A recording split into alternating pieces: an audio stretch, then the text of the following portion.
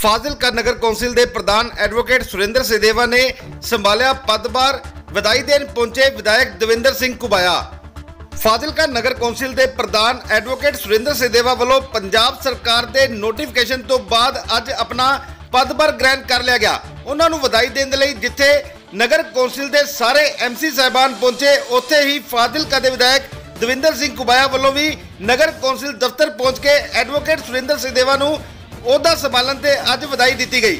ਇਸ ਮੌਕੇ ਤੇ ਭਾਜਪਾ ਪਾਰਸ਼ਦਾਂ ਵੱਲੋਂ ਵੀ ਬੁੱਕਾ ਪੇਟ ਕਰਕੇ ਐਡਵੋਕੇਟ ਸੁਰਿੰਦਰ ਸਿਦੇਵਾ ਨੂੰ ਪ੍ਰਧਾਨਗੀ ਦਾ ਅਹੁਦਾ ਸੰਭਾਲਣ ਤੇ ਵਧਾਈ ਦਿੱਤੀ ਗਈ। ਪੰਜਾਬ ਸਰਕਾਰ ਦੇ ਨੋਟੀਫਿਕੇਸ਼ਨ ਤੋਂ ਬਾਅਦ ਸਾਡੇ ਪ੍ਰਧਾਨ ਜੀ ਸੁਰਿੰਦਰ ਸਿਦੇਵਾ ਜੀ ਨੂੰ ਚਾਰਜ ਉਹਨਾਂ ਨੇ ਸੰਭਾਲਿਆ ਔਰ ਸਾਰਾ ਜਿਹੜਾ ਕੋਵਿਡ ਨੂੰ ਧਿਆਨ ਚ ਰੱਖਦੇ ਹੋਏ ਅਸੀਂ ਜਿਹੜਾ ਲਿਮਟਿਡ ਜਿਹਾ ਪ੍ਰੋਗਰਾਮ ਕਰਕੇ ਬਿਲਕੁਲ ਥੋੜੇ ਜਿਹੇ ਬੰਦੇ ਬੁਲਾ ਕੇ ਔਰ ਉਹਨਾਂ ਨੂੰ ਜਿਹੜਾ ਚਾਰਜ ਸੰਭਾਲਿਆ।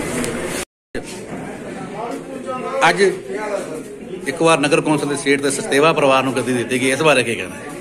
ਦੇਖੋ, ਇਹ ਸਾਡਾ, ਜਿਹੜਾ ਨਾ ਬੜੀ ਕਿਸਮਤ ਚੰਗੀ ਸਾਡੇ ਪਰਿਵਾਰ ਦੀ।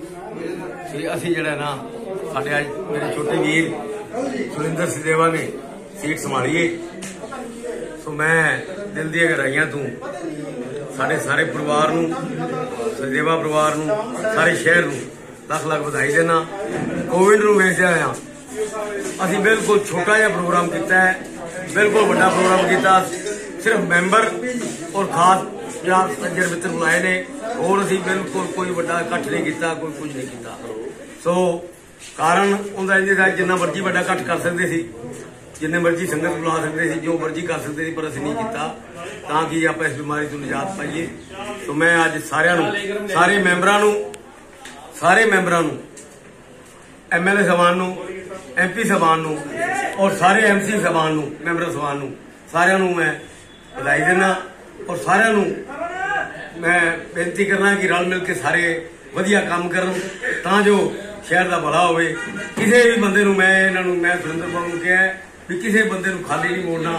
ਜਿਹੜਾ ਕੋਈ ਆਵੇ ਉਹਨੂੰ ਆਦਾ ਇੱਥੇ ਰਾਜੀ ਕਰਕੇ ਭੇਜੋ ਖੁਸ਼ ਕਰਕੇ ਭੇਜੋ ਉਹਨਾਂ ਨੂੰ ਸਾਰਿਆਂ ਨੂੰ ਕਿਸੇ ਨੂੰ ਨਾਰਾਜ਼ ਕਰਕੇ ਨਾ ਗੱਲੋ।